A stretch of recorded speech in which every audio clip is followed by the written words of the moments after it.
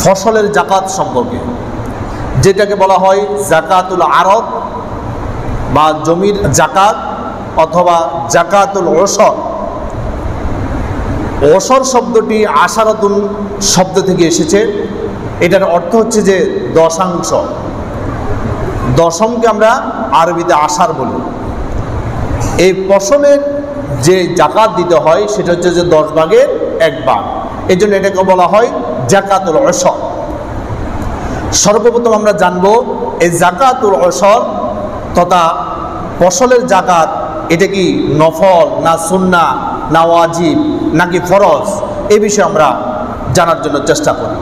কোরআন মাজিদে আল্লাহ সুবহানাহু ওয়া তাআলা দুই নম্বর সুরা সুরা আল বাকারার দুইশত সাতষট্টি নম্বর আয়াত আল্লাহ তারা বলছেন يا أيها الذين آمنوا أنفقوا من طيبات ما كسبتم ومما أخرجنا لكم من الأرض ولا تيمموا الخبيث منه تنفقوا ولستم بآخذيه إلا أن تغمدوا فيه واعلموا أن الله غني حميد আয়াতে কারিমার অর্থ দিকে একটু লক্ষ্য করেন আল্লাহ সুবহানাহু ওয়া তাআলা বলছেন ইয়া আইয়ুহাল্লাযীনা আমানু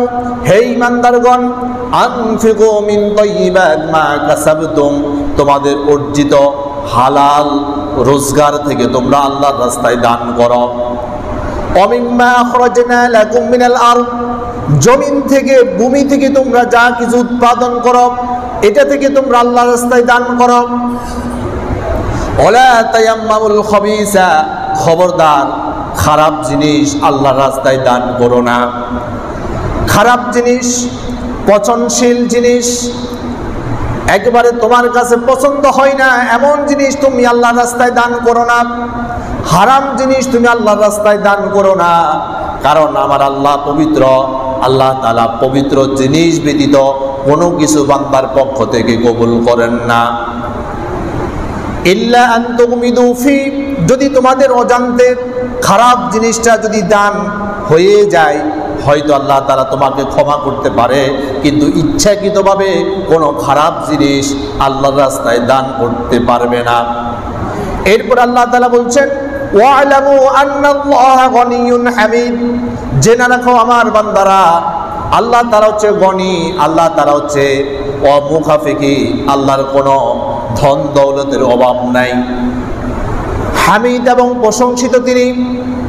তিনি ধনী এবং প্রশংসিত, এমন মহাসত্তা তিনি তোমাদের কাছ থেকে খারাপ জিনিস কখনো গ্রহণ করেন না। তাহলে আমরা এই আয়ত কারিমা দ্বারা বুঝলাম উৎপাদিত ফসলগুলোর আল্লাহ রাস্তায় দান করতে আল্লাহ তালা নির্দেশ দিয়েছেন। এ থেকে বোঝা যাচ্ছে ভূমি থেকে উৎপাদিত যে ফসলগুলো আমরা কাটি, এগুলো আল্লাহ রাস্তায় দান করা ফরস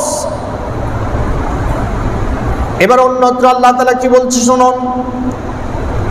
কোরআন মাজিদের ছয় নম্বর সৌরভ সৌরা আল্লাহ একশত একচল্লিশ নম্বর আয়াত আল্লাহ তালা বলছেন, কুলু من ثمره إذا أثمر وآتوا حقه يوم حصاده ولا تسرفوا إنه لا يحب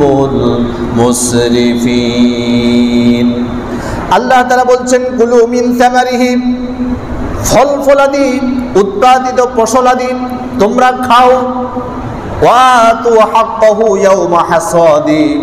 আর তোমরা যখন ফসল উৎপাদন করবে, ফসল যেদিন তোমরা মাঠ থেকে কেটে বাড়িতে উত্তোলন করবে ওই দিন ফসলের হক তোমরা আদায় করে দাও। সুবাহান আল্লাহ তাহলে সুরা বাকার দুইশো সাতষট্টি নম্বর আয়াত এবং সুরা আল্লাহ নামের একশো একচল্লিশ নম্বর আয়াত থেকে আমরা বুঝিয়ে নিলাম যে আল্লাহ সুবাহানু ফসলের জাকাত দেওয়া ফরজ করে দিয়েছেন সুবাহান টাকা পয়সা স্বর্ণ অলঙ্কার ধন সম্পদের জাকাত দেওয়া যেমন ফরজ, ফসলের জাকাত দেওয়া ফরজ।